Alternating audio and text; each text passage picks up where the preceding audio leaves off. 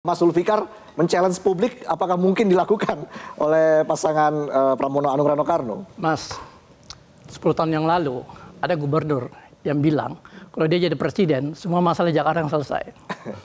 Tapi enggak. Kan? jadi kalau ada janji-janji politik yang tidak masuk akal, itu sebaiknya dihindari. Yang namanya Jakarta adalah sebuah kota yang sangat kompleks. Jangankan Jakarta, Mas. London, uh, New York, dua kota global yang paling kaya di dunia, yang APBD-nya setahun itu 100 miliar US dollar, itu masih macet. Hmm.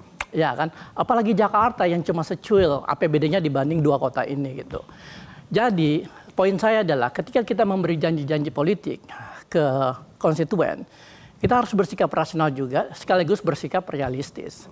Karena ada capaian-capaian yang bisa di uh, uh, berdasarkan sumber daya yang kita miliki. Kita nggak bisa memberi janji yang kemudian orang-orang Jakarta yang sangat rasional berpikir ini nggak mungkin, ini bohong, ya kan?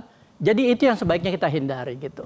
Makanya ketika kita memberi janji, ketika kita memberi target, target-target ini harus uh, doable, harus achievable, ya kan? Dan itu yang dilakukan oleh Pramono dan Rano. Oke. Okay. Jelajahi cara baru mendapatkan informasi. Download Metro TV Extend sekarang.